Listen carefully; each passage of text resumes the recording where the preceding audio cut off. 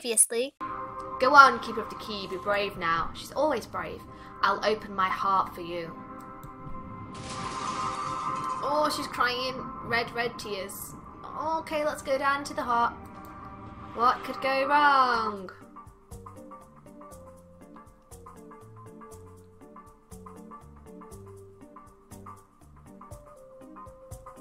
Let's continue. The mad waiting room of death. But she's got some sassy ass hair, let me tell you. Okay, let's let's talk to this person that has wheels. Oh, that creature's body is made out of baby faces. Fran, it's not polite to stare.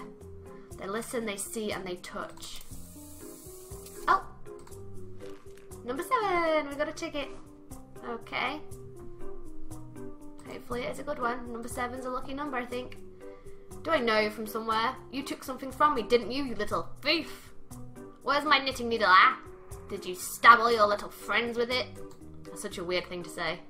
What, knitting needle? Are you the dead nurse I saw back in the Oswald Asylum?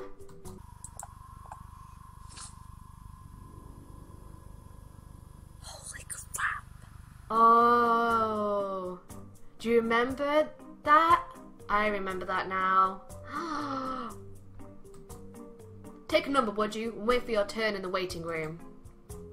But Miss Nurse, I don't need medical attention, I just want to find my kitty.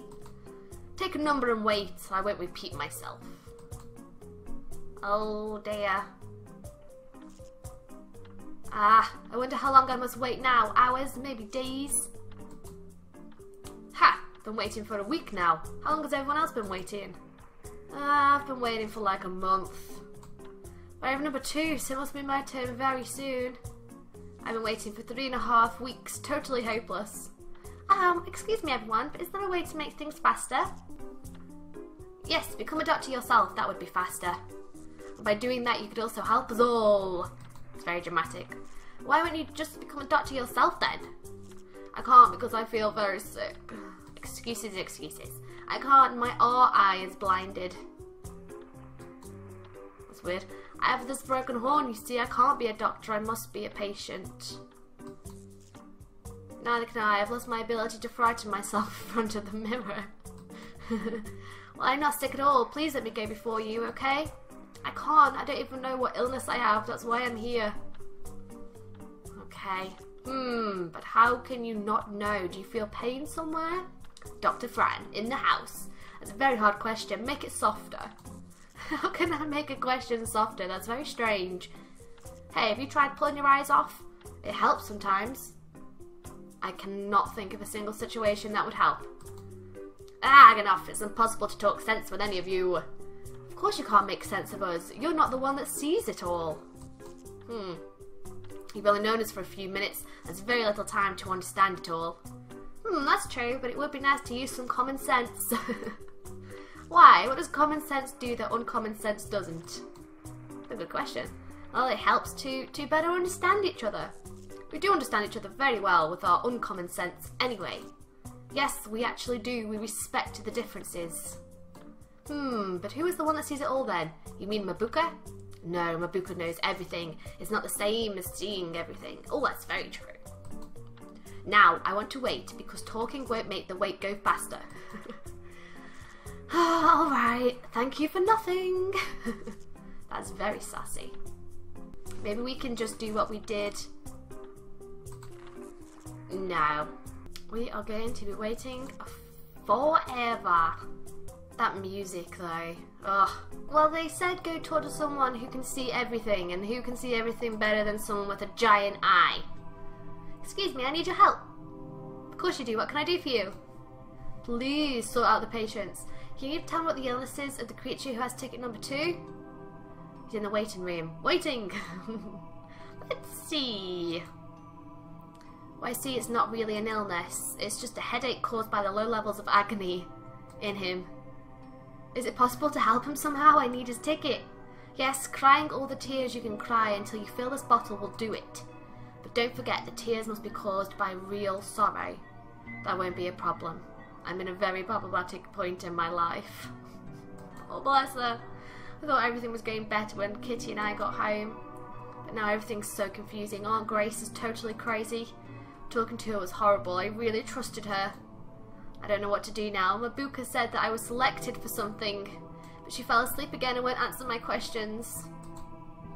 I need my kitty. Mr. Midnight's hugs. I just want to find him so we can go back to Anursta and be happy. Oh, he's like, come here, my pretty. Cry into this bottle. Lovely pain, so profound. Okay, so we have bottle full of tears. Give it to the critter that has your ticket. Go now. Time does not wait for anybody. Thank you. I'll be going now. Goodbye. Oh, Oh. Everybody needs a good cry some days. Okay, let's use these tears on him. Give him some agonies. Here, drink this. You'll feel much better. Oh, trying to poison me. Ha ha ha, how lovely. Let's see. It tastes like the most profound and darkest elixir I've ever tasted before. Give me more, give me more. No, leave me alone. You promised to give me the ticket if I helped you. Alright, alright, there you go. Thank you. Your tears taste absolutely delicious. Ugh. Yeah, you shuffle away. You rat bear. Ooh, number two, that's us. That's us. Shoo, it's not your turn yet. It is. Yes, it is. You fibbing nibber? Here, take my ticket. Hello, page number two. We're going to do all we can to save you. Do you have an appointment? Well, not really. You told me to take a number and wait. Sorry, we don't help sick people without an appointment. Like real life doctors then. when I'm not sick, I lost my kitty, I just want to find him. I lost Kitty, don't worry, that's a natural reaction of your sickness. You're lucky though, many lose their mind instead. Ha! Lucky! How do I get an appointment then? Ah, just call me. Here's my card with the telephone number. Are you insane? Call us! Why must I call you? Why can't I just make an appointment now? Oh, that would be silly, because now I'm waiting for you to call me.